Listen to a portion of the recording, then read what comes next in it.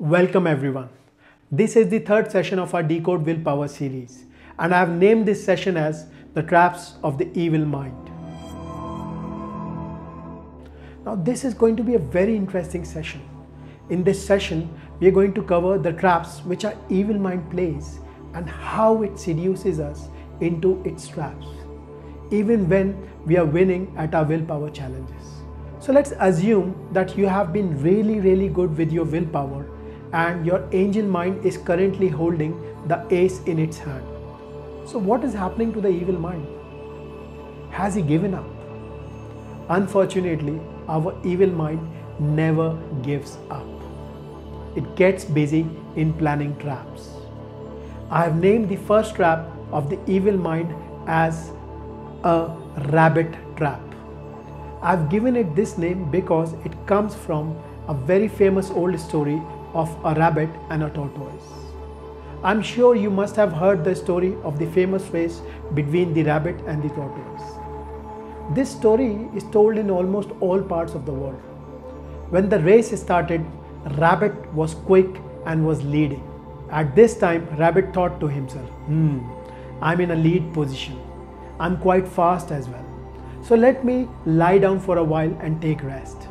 And we all know what happened after that. Rabbit slept and the tortoise won the race. So let's see how does the evil mind lay out its rabbit trap. To understand this, let's say you have been dieting and you have been following a nice diet plan for few days. Remember, your evil mind is down, but it is not out. When you are succeeding at your willpower challenge, your evil mind is busy laying out its trap. Your evil mind starts whispering and it starts telling you, you have been really, really good in the past few days. You can have one cheat meal. One meal is not going to make a difference. What happens then? You start looking at the health app and see how many calories are left and consumed. You also start thinking, all right, I'll have a light dinner in the evening so I can eat what I like for the lunch. And your evil mind plays a thousand tricks to convince you to cheat on your meal. Then finally, you get into this trap, and like the rabbit, you take it easy and put your first step down the slippery road. Please be aware of this trick of your evil mind. Your evil mind is a seasoned lawyer and it can come up with tricks you would not have even imagined. Your evil mind will use your good behavior to give yourself permission to do something you do not want to do. It creates a sense of entitlement which often becomes our downfall. Because we are quick to view self indulge as the best reward for virtue, we forget our real goals and give in to temptation. Our evil mind has a careful accountant in our brains, calculating exactly how good we have been and what kind of self indulgences we have earned. The worst part of the rabbit trap is how it tricks us into acting against our best interests. It convinces us that self sabotaging behavior, whether breaking your diet, blowing your budget, or sneaking a smoke, is a treat. I'll share a story of my client and how he sabotaged his success with the rabbit trap. My client was a 28 year old investment banker and he was about to get married in 8 months.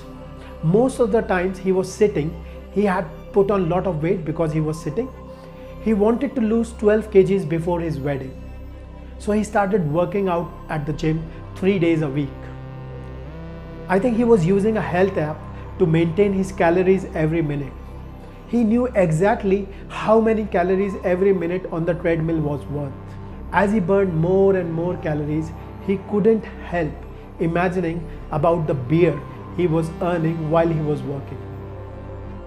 Although he had planned to cut back on calories, he felt free to have a beer on workout days. So the equation became something like X time on the treadmill is equal to X many beers. You would know what would have happened. Yes, you guessed it right. The weighing scale moved in the wrong direction. Now, can you see how he was falling into the rabbit trap?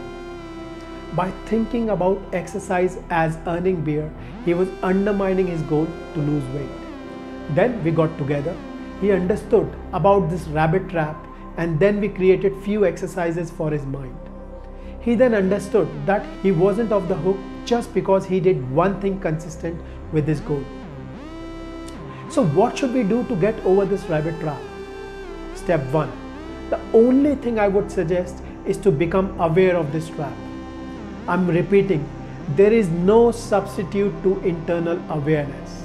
Step 2 Remind yourself why you chose the goal. Remind yourself of your commitment to your goal. Your commitment has to be bigger than your instant gratification. The second kind of trap our evil mind gets us into is the tomorrow's trap. Our evil mind doesn't limit us to taking only past actions into account. Evil mind also have an ability to borrow from future as well.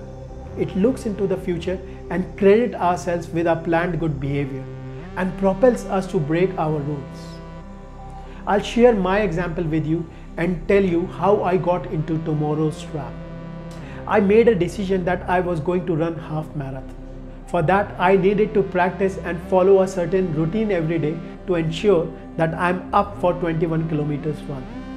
The practice was one week away from the day I decided that I was going to run the marathon. And this is where my evil mind started to lay its trap. It convinced me to borrow credits from the future. It started saying, Yeah, you're going to anyways start working out from next week. Why don't you enjoy this week and be a little relaxed about your routine? And you know what?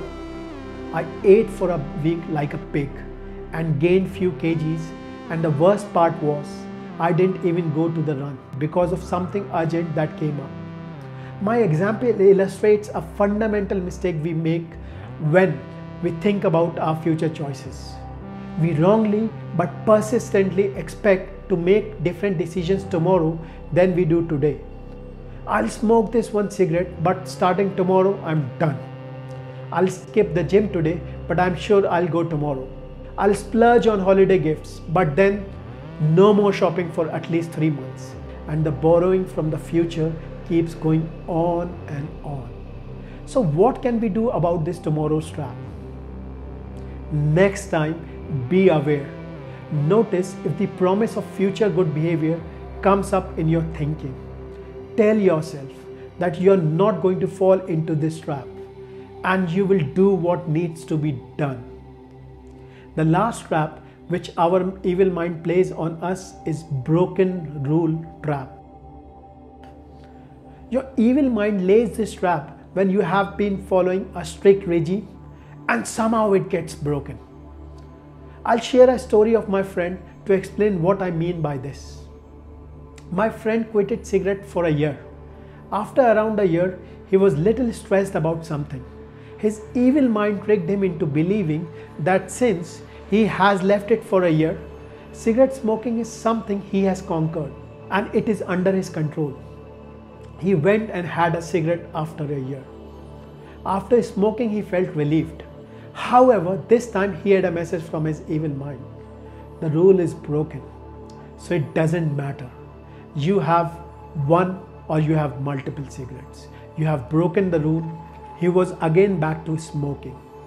This happens to most of us when we are dieting as well. We break the rule and then we binge on food because the rule is broken. You would have heard that famous Hindi saying, एक खून की सजा भी फांसी और दस खून की सजा भी फांसी in English, it would mean you get hanged for one murder and you also get hanged for 10 murders. So, if you have committed one murder, you might just commit as many murders as you like because the punishment remains the same.